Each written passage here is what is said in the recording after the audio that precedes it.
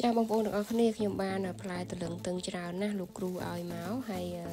ឥឡូវនេះគិតថាធ្វើក្រឡុកអំបិលម្ទេសក្រឡុកតលឹងតឹងហ្នឹងណាប៉ុន្តែខ្ញុំនឹងរើសយកតែធំធំទេអញ្ចឹងណាចាឥឡូវខ្ញុំរៀបចំគ្រឿងក្រៅខ្ញុំសិនដើម្បីថាទុកត្រៀមក្រឡុកណា ចាអញ្ចឹងមានស្ករសមានអំបិលមានម្សៅស៊ុបខ្នុរហើយមានខ្ញុំមានដាក់ប៊ីចេងដែរខ្ញុំដាក់ប៊ីចេងមកតិចចូលហើយនឹងម្ទេសម្ទេសហ្នឹងគឺខ្ញុំមានម្ទេសហុយចានេះគឺស្ករសបងប្អូនហើយតលឹងតឹងហ្នឹងខ្ញុំយកតែធំធំមកយកទៅចិតណាចានេះគឺមានចាមានម្ទេសប្រើម្ទេសហុយអញ្ចឹងតលឹងតឹងនេះខ្ញុំរើសយកប៉ុនប៉ុណ្ណឹងណាហើយខ្ញុំលាងទឹកស្អាតហើយ អញ្ចឹងជាបន្តទៀតខ្ញុំយកឡើងទៅនឹងកាត់អញ្ចេះកាត់អញ្ចឹងដើម្បីយើងក្លុកអំបិលណាបងប្អូនចានេះខ្ញុំសាកធ្វើធ្វើញ៉ាំញ៉ាំពេលថ្ងៃរសៀលចាអញ្ចឹងខ្ញុំរើយករឿងធំធំតិចណាចាហើយកាត់ចឹងទៅហើយបន្ទាប់មកទៀតខ្ញុំនឹងយកតលឹងតឹងដែលខ្ញុំលាងស្អាតកាត់បែបនេះហើយហ្នឹងយកទៅដាក់ក្នុងចានធំមួយចាចា នឹងខ្ញុំរៀបចំដើម្បីលាយជាមួយនឹងអំបិលម្ទេសហើយ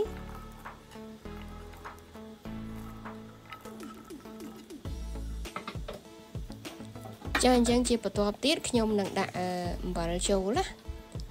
ចានេះគឺអំបិលហើយបន្ទាប់មកខ្ញុំចាក់ម្សៅស៊ុបខ្នុរហើយខ្ញុំមានដាក់ប៊ីចេងបន្តិចដែរចាហើយនេះគឺស្ករសចាហើយខ្ញុំច្បល់សិនច្បល់ គ្រឿងក្រៅខ្ញុំដាក់មិញហ្នឹងឲ្យចូលជាតិជាមួយនឹង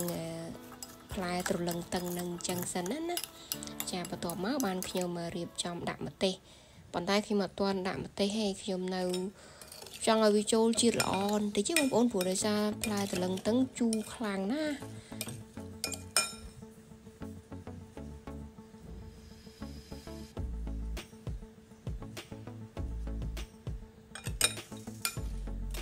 ចាខ្ញុំទុកផ្អាប់វាបន្តិចចឹងទៅហើយបន្ទាប់មកទៀតបានខ្ញុំដាក់ម្ទេសឥឡូវខ្ញុំក្លុកសិន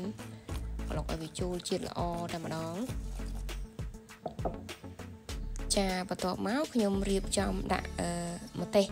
ហើយម្ទេសហ្នឹងគឺខ្ញុំប្រើម្ទេសហុយបងប្អូនចាដោយសារតែម្ទេសហុយវាអត់សូវហឹរចឹងណាហើយខ្ញុំអត់សូវចេះហឹរឡោះចាបងប្អូនចូលចិត្តម្ទេសខ្លាំងបងប្អូនដាក់ម្ទេសឲ្យស្រស់ណា ហាន់ឬបុកម្ទេសឲ្យស្រស់ទៅស្រស់យើងហ្នឹងហើយដាក់ទៅអូហឹរឆ្ងាញ់ណាស់សម្រាប់អ្នកចេះហឹរណាអញ្ចឹងខ្ញុំប្រើបានត្រឹមម្ទេសហឹរប៉ុណ្ណេះចាប៉ុណ្ណឹងបងប្អូនអឺខ្ញុំក្លុកអំបិលម្ទេសតឡឹងតឹងគឺខ្ញុំធ្វើបែបហ្នឹងណាចាហើយយើងទុកផ្អាប់វាបន្តិចទៅហើយញ៉ាំទៅឆ្ងាញ់តាអឺយើងជូអីជូហ្នឹងវានៅជូប៉ុន្តែដោយសាររសជាតិយើងលាយអំបិលមានម្សៅស៊ុបខ្នុរអីចឹងណា ចាអញ្ចឹងវារសជាតិមួយយ៉ាងដែលយើងអាចញ៉ាំបានអញ្ចឹងណាចាអញ្ចឹងរបៀបដែលខ្ញុំធ្វើអឺផ្លែតលឹងតឹងក្លុកអំបិលម្ទេសហ្នឹងគឺខ្ញុំធ្វើបែបនេះបងប្អូនហើយបើសិនជាមានការខុសឆ្គងត្រង់ណាសូមមេត្តាអភ័យទោសផងចាខ្ញុំលាបងប្អូនត្រឹមប៉ុណ្ណេះហើយជួបគ្នានៅវីដេអូក្រោយៗទៀតអរគុណច្រើន